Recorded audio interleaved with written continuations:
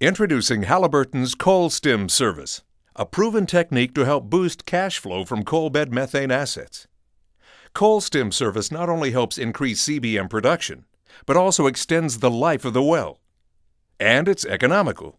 Entire fields have been treated with fast treatment payout, some in as little as nine days. During the productive life of a CBM well, coal fines often collect in pore spaces and are carried toward the wellbore. Over time, blockage formed by clots of migrating coal fines within the propped fracture can significantly reduce production. To help remediate the damage, the coal stim process begins with filling the wellbore with water, followed by a high-rate backflush. This backflush initiates the process of reestablishing fracture conductivity. The coal stim remedial treatment immediately follows the water pre-flush.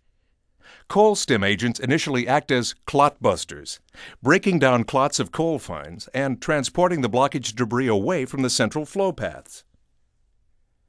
Then, through chemical triggering, aqueous tackifier agents act as clot formers, making the coal particle surfaces strongly adhesive.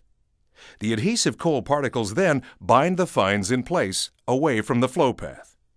The result is a highly conductive flow path from the formation to the wellbore.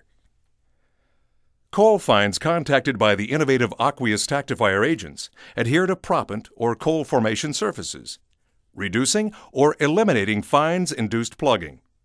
This means the effects of coal stim service can be long-lasting with long-term production increases. Coal stim service can be applied in several ways.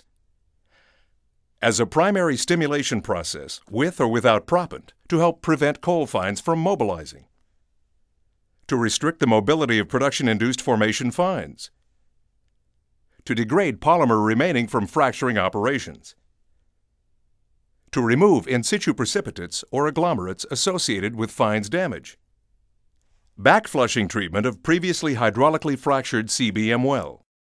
This post-fracture service has already been used to reverse production declines in hundreds of coal bed methane wells, fast and economically. For more information, contact your local Halliburton representative or email stimulation at halliburton.com.